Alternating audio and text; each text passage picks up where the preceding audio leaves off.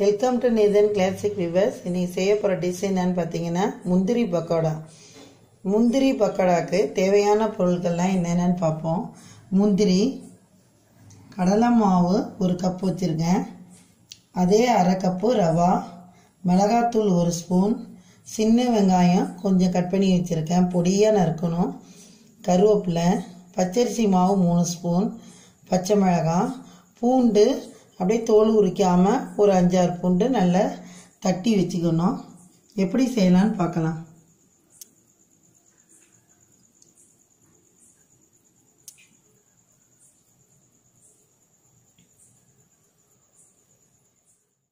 ஒரு பாத்திரம் எடுத்துக்கிட்டு நல்லா அகண்ட பாத்திரமா கடல மாவு போட்டுக்குவோம் ஃபஸ்ட்டு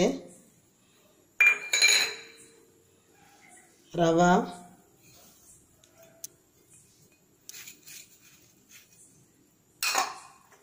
பச்சரிசி மாவு.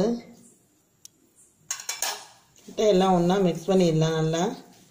எல்லாம் மூணு இதையும் நல்லா கலக்கிடுவோம் மூணு மாவும். மிக்ஸ் பண்ணியாச்சு. அப்புறம் வெங்காயம். கருவேப்பிலை. நல்லா மிக்ஸ் பண்ணிடலாம். வெங்காயம் நல்லா பொடியாக நறுக்கணும். கையிலையும் நல்லா அப்படியே இது பண்ணி விட்டுடலாம் மாவோட ஒன்றா சேர்த்து. வெங்காயத்துலேயும் கொஞ்சம் ஈரப்பசை இருக்கும். அதனால் முதல் வெங்காயத்தை மாவோட சேர்த்து மிக்ஸ் பண்ணணும்.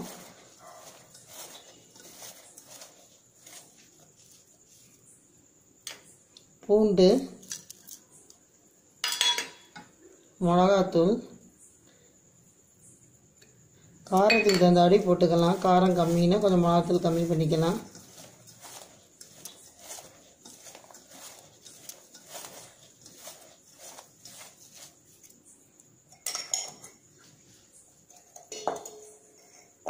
உப்பு தேவையான அளவு போட்டுக்கலாம். பத்தலைன்னா கூட பார்த்துட்டு சேர்த்துக்கலாம். போட்டு கொஞ்சமாக தண்ணி ஊற்றிக்கணும்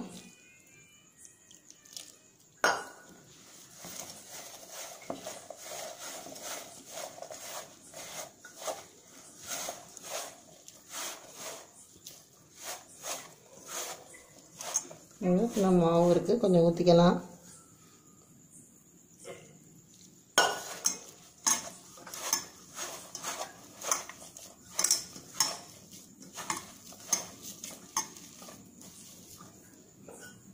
கொஞ்சம் ஊற்றிக்கலாம்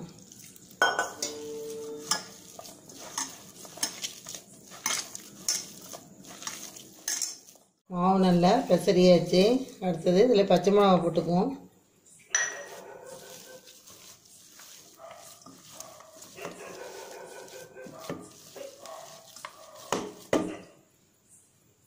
முந்திரி பருப்பு.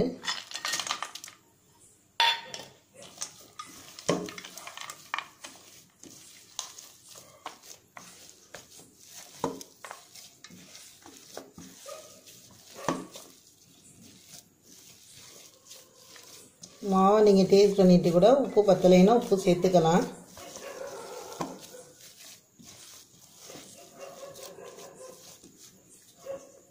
ரெடி ஆயிடுச்சு மாவு.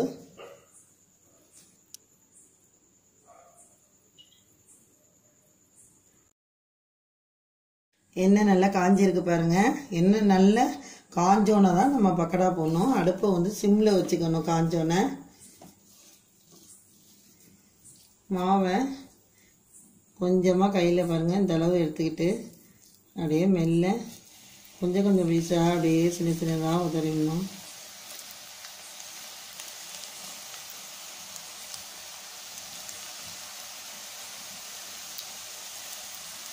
தீ வந்து அதிகமாக வச்சிங்கன்னா உள்ளுக்குள்ளே வேகாது. இதே தீஞ்சி போன மாதிரி வரும்.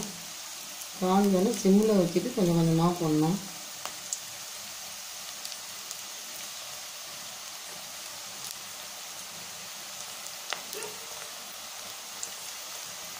இதையே உதிரி விட்ட மாதிரி போடணும்.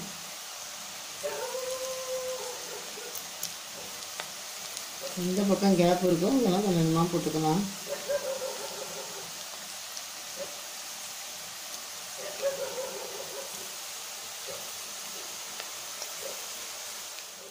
பாருங்கள் வெந்துக்கிட்டு இருக்கு. ஹீட் வந்து கம்மியாகவே வைக்கணும். அப்போ தான் உள்ளுக்கெலாம் நல்லா மாவு வேகும். அனல் வந்து நம்ம ஹீட் வந்து அதிகமாக வைக்கக்கூடாது பாருங்கள் பக்கடா வெந்துருச்சு. இந்த மாதிரி ப்ரௌன் கலரில் வந்தோன்னே எடுத்துடலாம்.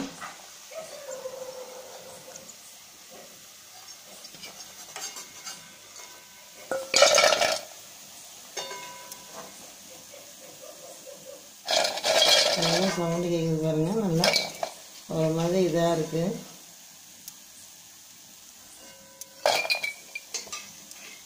அதனால் கம்மியாக வச்சு தான் போடணும்.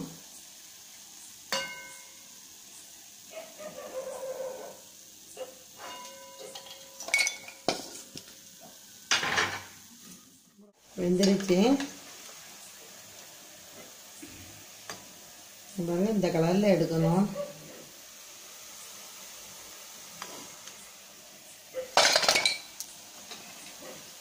இப்படி நல்லா சவுண்டு கேட்குது பாருங்கள் அப்படி தான் இருக்கணும் நல்லா.